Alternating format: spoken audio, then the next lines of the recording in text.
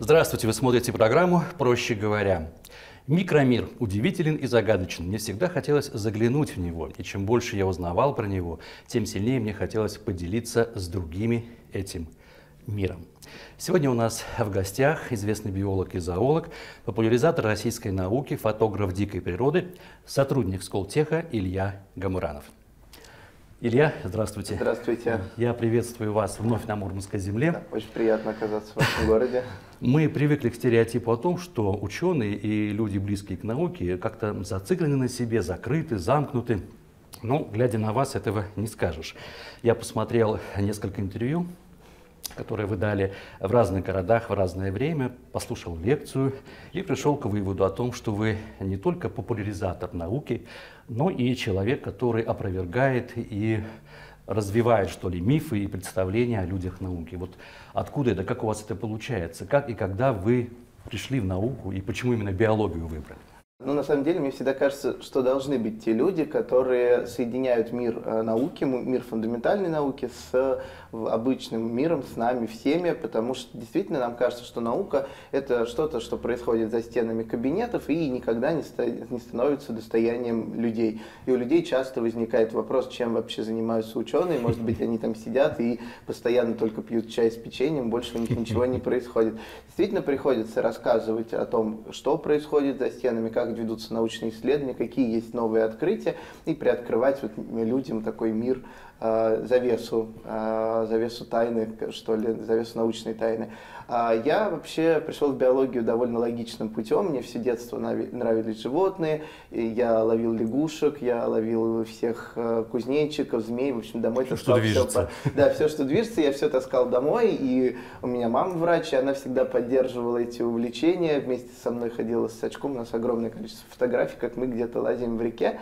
А потом я пошел в биологический кружок, и надо сказать, что это, а, наверное, был самый главный определяющий фактор в моей э, выборе моей карьеры, потому что кружок натуралистов зоологического музея МГУ, он работает уже больше 30 лет, и это фактически университетское образование, переложенное на школьные умы. То есть так, чтобы было понятно школьникам, это и экспедиции, это научные исследовательские работы, занятия ведут э, настоящие ученые.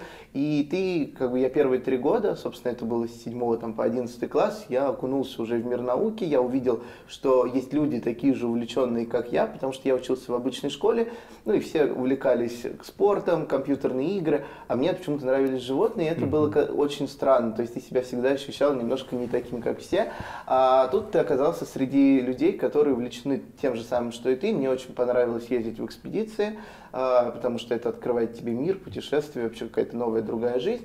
Ну и, собственно, после этого я поступил на биологический факультет, а, и там уже было точно понятно, что я буду только зоологом, мне нравились животные, а дальше надо было уже выбрать конкретную mm-hmm. специальность, и вот тут было много таких э, мыторств, куда же пойти. Ну, я также знаю, что вы в детстве мечтали еще быть клоуном, архитектором, ветеринаром, но вас почему-то вот мир да. дикой природы, почему, чем он увлек вас? Э, мечтал быть всем кем угодно, и даже хотел одно время быть священником, потому что мне казалось, что это очень красиво, это действительно такая большая историческая составляющая, мне все это очень нравилось. Архитектура, потому что я и хорошо рисовал, планировал в архитектурный поступить, и, конечно, даже моя мечта сбылась, я потом преподавал архитектором, но уже биологию.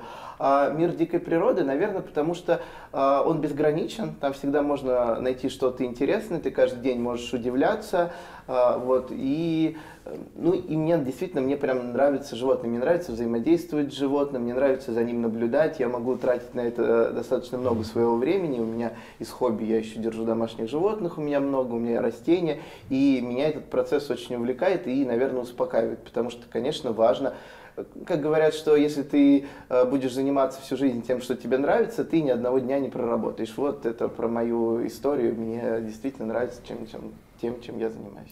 Премию за верность науке вы получили за э, фотопроект э, «Дикая природа» в объективе Ильи Гамгранова. Как вы пришли к фотографии? Что побудило вас заняться этим?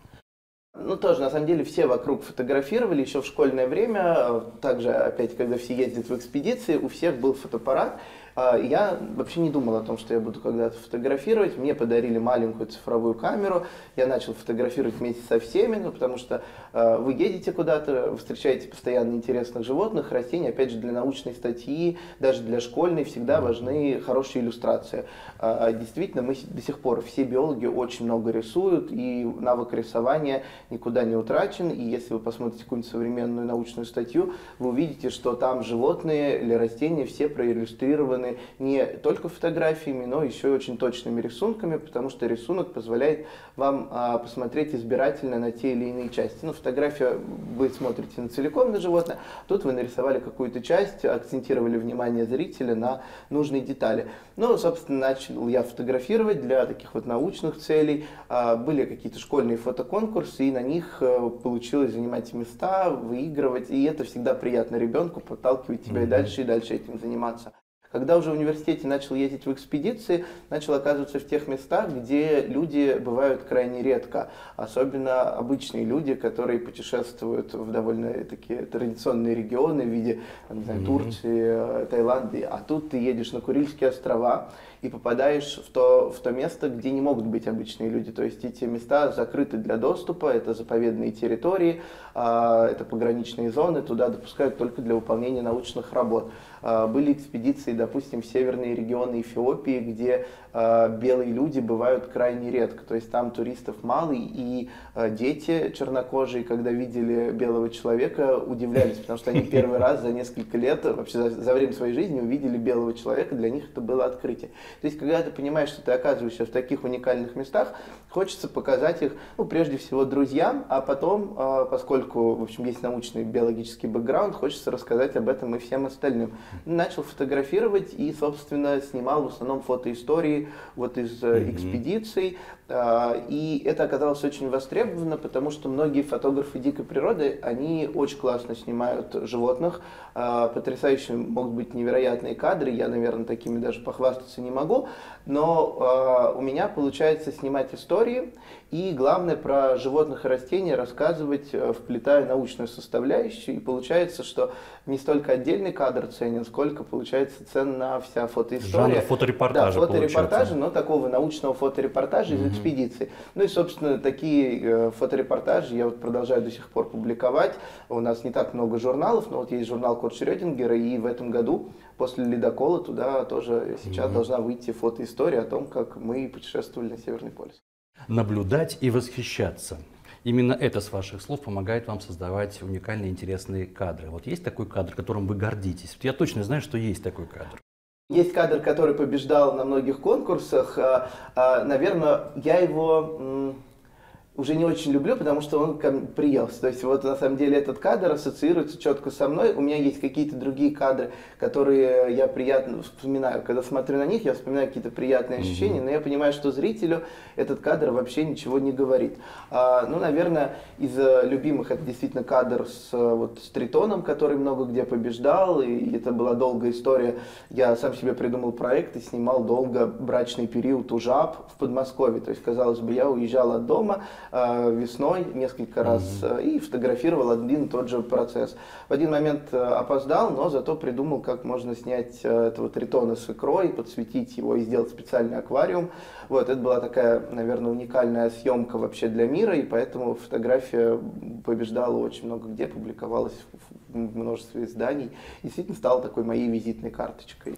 А вы проводили какие-либо эксперименты для изучения животных? Если да, то к каким результатам пришли? Может быть, к открытиям? Я занимался фундаментальной наукой, а, то есть а, это та, то, та область знаний, которая в целом на нашу повседневную жизнь обычно никак не влияет. И я занимался а, систематикой мух, некоторых семейств мух, то есть мой основной объект это мухи, которые развиваются на разлагающихся субстратах. На самом деле, когда я пришел к этой теме, а, я увидел, что есть энтомологическая криминалистика, и насекомые могут помогать расследовать преступления, устанавливать дату а, смерти и многие другие факторы. Мне эта тема очень понравилась. Опять же, я узнал, что мухами э, когда начал выбирать тему, мухами занимается мало людей. Ну, потому что есть красивые жуки, есть красивые бабочки. Да, ими, мухи как-то, да. да. Мухи мало привлекают, обычно ими занимаются с медицинской точки зрения, они переносят много заболеваний. Тут я увидел, что вот есть энтомологическая криминалистика, пришел на кафедру, говорю, я хочу вот этой темой заниматься. Они говорят, ну тогда тебе нужно выбрать мух, и очень определенную группу мух, они все серые, невзрачные, ну и, собственно, специалистов по ним буквально 5 человек в мире. И дальше я занимался не столько прикладной биологией, сколько вот именно фундаментальной. Это поиск новых видов.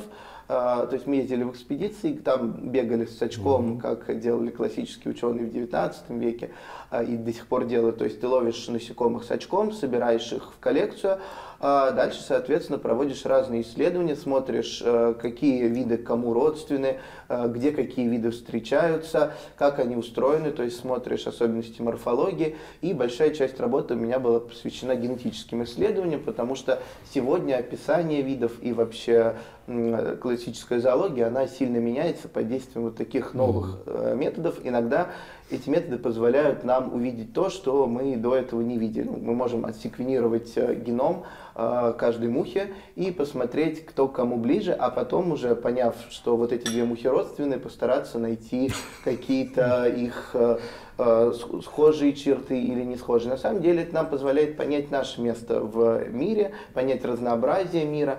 Ну и вот, собственно, открытие это я сделал большую фаунистическую и систематическую работу по определенной группе мух. Это до этого последняя такая работа выходила 50-60 лет назад, и, конечно, с появлением новых методов это все значительно mm-hmm. было пересмотрено, плюс я обрабатывал большое количество музейных коллекций, самых разных, а, потому что когда ты занимаешься э, вот э, такой темой, тебе недостаточно ездить только в экспедиции, ты еще должен поездить по разным музеям, посмотреть коллекции мух, и ты можешь, самое удивительное, что ты можешь найти муху 17 века, 18 они до сих пор хранятся в музеях, это очень ценные экземпляры, с которыми работал Карл Линней, допустим. Mm-hmm. Ты можешь взять муху, который работал классик биологии, и понять, что он подразумевал, описывая что-то в своей статье. Ну, собственно, ревизия коллекции – это тоже большая составляющая моей научной работы была. Готовясь к программе, я послушал вашу лекцию «Копирование природы», с которой вы выступили, если не ошибаюсь, в феврале 2021 года в Сколтехе. Совершенно уникальная информация. Люди очень охотно подсматривают у животных различные механизмы и стратегии. Вот какие вы из них вы э, выделили бы особо? Лекция действительно очень популярная, я ее читал уже, мне кажется, больше 80 раз. В Мурманске тоже э, была эта лекция. И, соответственно, люди, когда начали изучать дикую природу, действительно увидели много разных э, способов решить проблемы, которые, с которыми они сталкиваются в повседневности.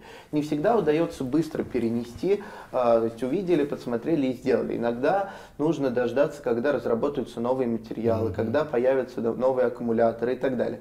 Сегодня на самом деле мы живем в то время, когда люди возвращаются к идеям прошлого, смотрят, что нашли фундаментальные ученые как раз, потому что у нас, конечно, технологии сильно развились, и, возможно, мы сможем повторить какие-то механизмы, которые не могли сделать в прошлом. А, моя любимая история, что люди хотели поднять человека в воздух, долго делали машущий полет, потом долго пытались сделать планирующий полет, но не было подходящих материалов. Поэтому первый парашют выглядел довольно нелепо, а первый костюм, который надевался на человека, человек, делал его фактически белкой или тягой, а, выглядел как, не знаю, как большой пододеяльник, и это было, а, естественно, он не работал, но потому что не было современного полимерного материала. Сегодня этот костюм доступен, каждый может сесть в самолет, прыгнуть, надев на себя и парить какое-то время.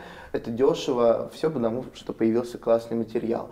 А классическая липучка – это тоже история очень популярная, но ее нельзя рассказать, не, не рассказать, потому что не так много устройств на самом деле переходит в нашу повседневность. Чаще всего эти изобретения доходят до космической отрасли, до медицины, это там, где требуются такие высокотехнологичные решения, а в нашу повседневную жизнь, ну, в принципе, нам и так хорошо, мы можем пуговицы пользоваться и молнией. Но вот появилась липучка, которую, собственно, Жорж де Мистраль скопировал с э, лопуха, плодов э, репейника. И если мы просто скидываем со своей одежды, ну, нам это не нравится, и мы хотим убрать эти плоды, то Жорж де Мистраль, будучи инженером, начал э, изучать. Он изучил угол изгиба, оказалось, что там принцип золотого сечения тоже, именно он является оптимальным для того, чтобы зацепиться за шерсть. А дальше Жорж де Мистраль начал изучать еще и материалы. То есть тут важно, чтобы ученые работали вместе. А в те времена это мог быть один человек, сегодня это огромное количество научных лабораторий по всему миру, которые работают над одной проблемой. Ну и, собственно, Жорж де Мистраль нашел, что есть нейлон, и дальше из нейлона сделал похожие части. Одно было ухом его собаки, другое плодами репейника, и получилась обычная липучка. Uh-huh. Условно, 55 год – это год рождения этой липучки, и первая действительно липучка отправилась в космос, тогда она была довольно дорогостоящей, ну а сегодня материал супер дешевый, и, конечно, такой удобный замочек есть на каждой одежде. Но изобретений много новых, то есть есть и медицинские катетеры, которые копируют кожу э, акул, это, собственно, тоже то, что есть в повседневности, то, что используется, хотя эти эти катетеры сильно дороже, но зато они вызывают меньше сепсисов, да. да, потому что бактерии не могут на них размножаться. Вы любите приводить э, цитату этолога э, Франца де Вааля о том, что мы недостаточно умны, э, чтобы судить о, об, интеллекте, об интеллекте животных. Вот интересно, воспринимают ли животные прекрасное? А, это тоже тема моей лекции. А, и вот я эту лекцию на самом деле, наверное, больше всего люблю. Во-первых, она новая, ты всегда любишь а, больше новое, потому что ты читаешь 70 раз одну и ту же лекцию, и ты уже от нее сам устаешь, хочется почитать новое. На самом деле, каждая лекция это для меня повод покопаться в информации, поискать, mm-hmm. какие есть новые исследования, почитать их. Фактически, когда я готовлю лекцию, я на самом деле читаю, провожу хорошо вечера, читаю научную литературу, научно-популярные книги и так далее. А, и, собственно, когда родилась эта тема, смотрит ли, воспринимает ли животное прекрасное, я попытался в этом разобраться, и э, ответа нету на этот вопрос. Мы не знаем, понимает ли животное красоту и понимают ли они в том смысле, как видят ее мы, как видим ее мы. Но, конечно, они оценивают э, э, внешний вид своего партнера, они могут оценивать звуки, они могут оценивать э, какие-то другие параметры, которые для них кажутся красивым. Запах. Запах тоже может быть для животных приятный или неприятный. Красота, прежде всего, в природе говорит о том, что твой партнер, твой избранник обладает хорошими генами. Соответственно, если у него есть время на то, чтобы приводить себя в порядок и выглядеть симпатично, значит, скорее всего, он сильный, значит, скорее всего, он будет здоровый, у него достаточно времени на поиск пищи, и значит, твои дети будут такими же здоровыми, э, как условный папа, ну или мама, в зависимости от того, кто кого выбирает. Хвост павлина – это а, такой пример, да. на самом деле, не хвост, а надхвостик, это пример, когда самка смотрит на красоту перьев. Самцу жить с таким хвостом очень тяжело. Если вы посмотрите на павлина в дикой природе, э, когда эта птица летит, хвостом очень неудобно. Он задевает ветки, mm-hmm. его легко на него нападают хищники, соответственно, легко схватить за хвост. Но самец вынужден поддерживать такое вот прекрасное оперение для того, чтобы самка во время брачного танца была очарована. Там есть глазчатые пятна, и они появились не просто так, движение глаз действительно гипнотизирует самку в этот момент.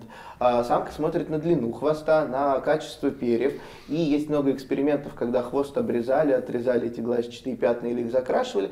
Такой самец оказывался абсолютно непривлекательный для самки. Да. да. Самка смотрит на э, красоту перьев и понимает, что самец очень сильный. Ему хватило времени поесть, ему хватило времени сбежать от хищников, и еще он сохранил вот это красивое оперение. Таких примеров много. Есть э, совершенно странные один из моих любимых примеров про стервятника. Стервятники белого цвета, они едят экскременты коров и их шерсть, их перья становятся желтого цвета, более насыщенно желтого. И самкам очень нравится желтый цвет. Но понятно, что питаться такой странной пищей это довольно вредно. А, и с одной стороны это вредно, а с другой стороны самкам нравится. И поэтому только сильные самцы могут себе позволить э, такую странную диету. И самка это косвенно оценит. Конечно, она не понимает, э, что Откуда она делает это, выбор да? такого сильного самца, но природа так придумала, эволюционный процесс идет так, что такая стратегия оказалась выигрышной. В 2018 году в одном из интервью вы сказали о том, что мечтаете э, посмотреть Антарктиду и белых медведей. Ну и, насколько я знаю, мечта ваша сбылась. Вы стали одним из участников и спикеров э, четвертой арктической экспедиции Росатома э, «Ледокол знаний 2023». И этим летом побывали на Северном полюсе. Удалось ли вот вам э, увидеть этих диких животных, изучить их поведение в суровых условиях Арктики? Тут я должен сказать, что Антарктида внизу, а Арктика наверху. В Антарктиду я ну. тоже хочу, но пока я еще не побывал, и очень хочется посмотреть на императорских пингвинов. А в Арктике пингвинов нету. А это наша была еще любимая не вечер, шутка. Да? да, наша любимая шутка. Нашли ли мы пингвинов на Северном полюсе? Недавно читал лекцию, и мальчик говорит мне в конце лекции, а вы все-таки пингвинов-то видели? И я говорю, да нет, пингвинов там не бывает.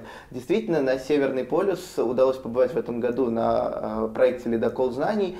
Наверное, очень яркий и знаковый проект, потому что это типичный научно-популярный, классная научно-популярная история, когда ученые, разные эксперты едут вместе с большим количеством детей из разных регионов, и главное, что это дети не только биологи, потому что биологи часто ездят э, с учеными, да. да, в экспедиции, увлекаются, читают лекции, а тут э, с тобой оказывается 80 детей, которые, кто-то увлекается танцами, кто-то увлекается IT-технологиями, кто-то будет инженером, кто-то лингвистом и так далее. Очень, очень разный состав детей.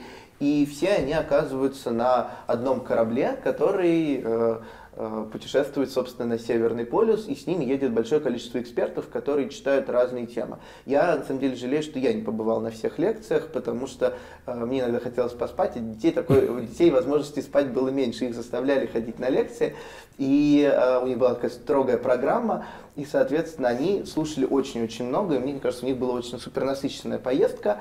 А, и, собственно, да, мне повезло быть одним из экспертов, из экспертов, и мне понравилось, во-первых, что я читал лекции в этот раз не только с картинками, но и мог показать животных за бортом корабля.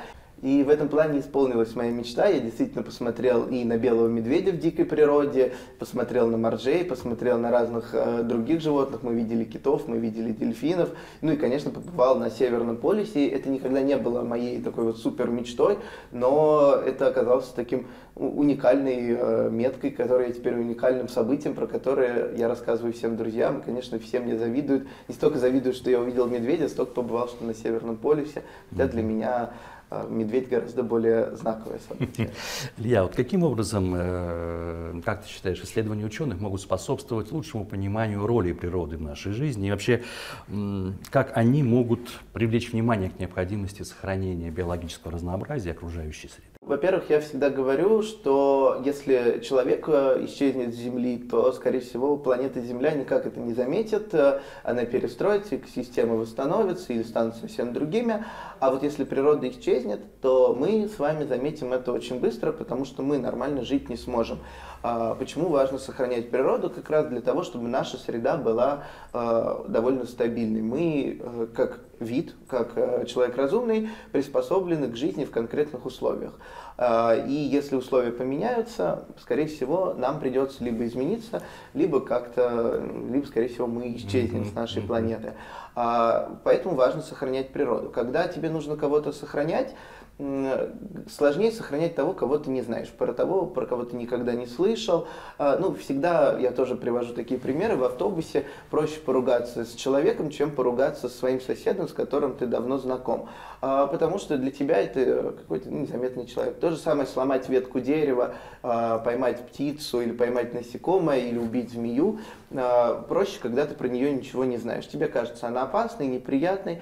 Как только ты узнаешь, что это конкретное растение, у него есть определенные свойства и в чем-то оно уникально, тебе уже не хочется этого делать, тебе скорее хочется поделиться, понаблюдать за этим. А в Москве, а, я не знаю, есть ли в Мурманске такая проблема, в Москве все обламывают сирень, потому что она красивая, ставят в вазы. Есть такая вот. проблема. И на следующий год э, все удивляются, почему сирень перестает цвести, угу. ну, потому что так делать не нужно. Когда ты начинаешь рассказывать людям, они понимают, что так делать лучше не стоит, и действительно перестают. Я проводил у себя во дворе такую работу, рассказывал с э, людям, что вот не надо сейчас отрезать, на следующий год сирень будет цвести более обильно, и мы сможем ее действительно срезать себе в букеты. Вот люди начинают это узнавать, и, собственно, потом им это делать э, угу.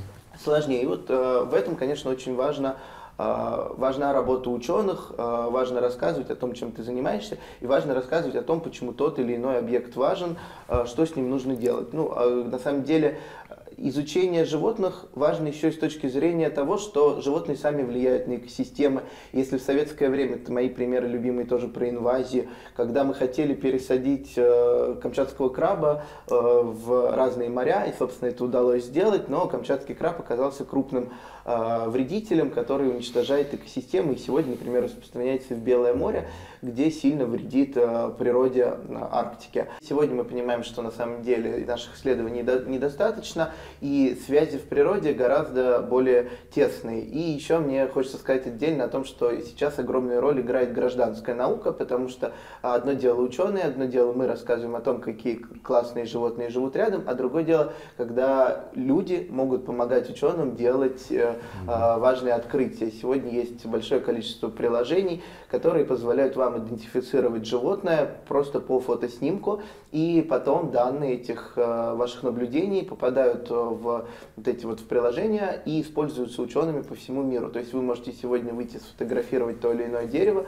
ваша точка окажется на карте, а потом это станет, возможно, маленьким научным открытием. И вот э, касаемо Арктики, наши все наблюдения э, супер уникальны. Я когда зашел загружать фотографии белого медведя, оказалось, что на земле Франца Иосифа буквально 15 э, фотографий загруженных медведей. Хотя, конечно, туристов бывает за год сильно больше. Как мотивировать молодежь идти в науку? На самом деле не нужно заставлять всех идти в науку, потому что те, кто хочет, главное не отбить у них интерес. Мне кажется, это самая главная задача, то есть поджигать интерес, э, делать, говорить, что так можно, этим можно заниматься, и дети в итоге все равно сами пойдут. А, конечно, есть сложившийся стереотип, что ученые живут бедно, а, наука, в науке все происходит медленно, а, вы будете сидеть в старых пыльных кабинетах, и вот э, этот сложившийся стереотип, конечно, нужно менять у детей. Есть э, сейчас огромное количество институтов, где кабинеты выглядят уже далеко ну, не да. как пыльные э, пространства. В науке действительно все происходит чуть медленнее, чем в обычной нашей жизни. А, но, с одной стороны, это минус, а с другой стороны, большой плюс. Тебе есть время подумать размеренно. График жизни ученого – это такой свободный режим. То есть, по сути, ученые всю жизнь ведут работу на фрилансе. Ты работаешь в те моменты, когда у тебя есть э, какое-то вдохновение mm-hmm. работать, или у тебя идет эксперимент, но ты можешь себе позволить остановиться и подумать. Это очень важная составляющая. Ну, если тебе что-то истинно интересно, то ты всегда найдешь способ заработать денег, и это никогда не станет твоей проблемой. Мне кажется, важно школьникам всем рассказывать, что нужно заниматься только тем, что тебе действительно интересно. Ну и в завершении программы небольшой блиц-опрос. Краткие ответы. Открывая вашу страничку ВКонтакте, мы читаем такие слова. «Я уже умею плавать и еще не знаю горя». Что это значит? Это цитаты из э, одной песни, просто почему-то в какой-то момент она мне показалась созвучной моему настроению. Кого вы любите больше, людей или животных? А, и тех, и других, но с животными, э, за животными интереснее наблюдать. Почему вас восхищают насекомые, ящерицы и рептилии? Ящерицы это тоже рептилии. А, восхищают, потому что они на нас не похожи и устроены а, совершенно фантастически и живут в самых разных средах. Зона комфорта. Какая она у Ильи Камыранова? Это, это маленький дом посреди леса, где каждый день можно выйти и насладиться природой. Однажды вы сказали, что планета разберется со временем, кто главный. Как вы думаете, когда наступит этот момент? А, надеюсь, что на нашу жизнь э, хватит э, разбор планеты, и она не определится, что сегодня главный не человек. Что ж, Илья, я благодарю вас за эту интереснейшую встречу. Спасибо. Эм, желаю вам новых встреч, новых увлекательных путешествий. Спасибо большое. У нас в гостях был биолог и зоолог, популяризатор российской науки, фотограф дикой природы и сотрудник Сколтеха Илья Гамуранов, для которого источником вдохновения является гармония природы и ее невероятное разнообразие. Это была программа «Проще говоря». Всех вам благ и до новых встреч.